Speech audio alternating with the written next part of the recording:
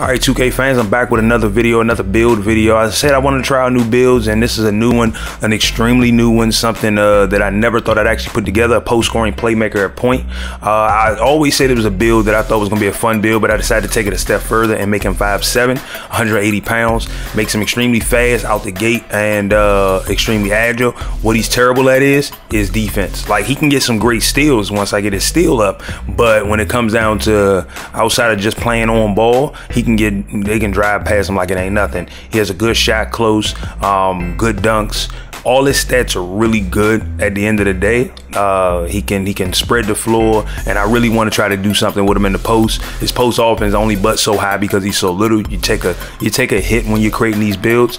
But I said each one of my builds I'm gonna do. I'm gonna have fun with them. Um, I want to create competitive builds, but at the end of the day, I want to have builds that I can kind of just put on and play 2K and have fun with and everything like that. My two-way shot creator, he's my competitive build. That's the one I take it a little more serious with when I got him. But with this build, I had a lot of fun with this build, just like my slashing defender, uh, or what I like to call now my posterizing defender. Um, a great build to kind of really have fun at lower levels. To me, the builds are even better at lower levels because when you're doing things that you shouldn't be able to do against people you shouldn't be able to do it to. Um, it makes the build even fun, even better. Uh, here's a great, you know, ball handling can can max it out at 90, maybe 91 if you get plus two on that last bar, but most likely it's a plus one. So he can get the elite dribble moves. Um, he has uh, great passing skills, can max out at about 87, 88. Um, he, he, has a great mid-range shot. It's a, I can get it to 73 now, contested, um, which means that I can get it to about a 76, 77. Uh, once I max it out and unlock all those caps. So that's going to be pretty cool. And because his layups are like 81 and his shot close like 81, that means I can get that up possibly to uh, 87, 88, uh, or even 90. So I kind of really, I, I kind of really do think this build is a nice build. It's a fun build. Like I said, sometimes you can't take these games too seriously. Uh, it's, it's hard to do when you like to be competitive. 2K doesn't really make it so you can actually be competitive with the way the game kind of uh, calls the shots at all times. It takes the skill out of it and leaves it all up to chance. But I managed to take this build to the park and have some fun. And we, I'm gonna show you all that park footage. It was actually a weird game, but it was a funny weird game. Like I'm looking at it and saying like, oh yeah, I'm gonna drag this team down, and it would surprise you just how much that I actually didn't contribute to the L. All right, now at the park, this was actually a pretty fun game. Uh, I expected it to be a lopsided beating. Now, I want to talk to y'all about a couple other things while we go over the footage of the of the park game that I played. First of all, this build is a fun build to play at park. Um, I created it mainly for park. I was glad to see that it turned out to be a good build. I started off the game just smacking the dude in the back with the ball to show my dominance for a little man. You knew today was going to start the game by trying to talk, uh, deal with me and expose me and use my man to just kind of take advantage of me. But I my, my team played some good help defense and rotation defense in the in the beginning. And I was working with a different shot. Well, I was working with the with the basics of one of my shots that I use, but the difference was I didn't have my own custom touch to it, so I didn't have my own release speed, uh, my own a, um, animations when it come down to release one and release two. So it was just a little bit different. The speed was a little bit different because of it.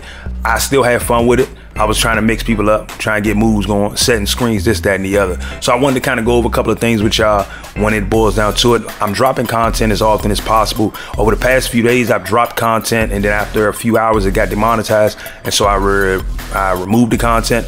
Now, what I decided to do is, is that I'm realizing with my last video that I dropped about my slashing defender, that got demonetized and I just said, you know what, I'm just gonna go ahead and continue to put them up and hopefully that will lead to YouTube kind of like put me in the algorithm to show up a little more. Because one of the things that to me the demonetization hurts literally isn't my income you know? I look at this as additional income to my job what I do already and when it comes down to this, I use this more as a platform to just kind of share content that I mess with, share guys that I mess with, uh, and have some fun playing the game. Now, when it comes down to where the demonetization hurts, is you don't show up as much because YouTube is going to show content that they can show advertisements on more often than not. So when it comes down to YouTube Reds uh, subscribers, they'll see my content show up and things like that. But when it comes down to um, your your everyday YouTube uh, YouTube viewer who doesn't you know have YouTube Red and everything, but they do watch a lot of content, a lot of videos.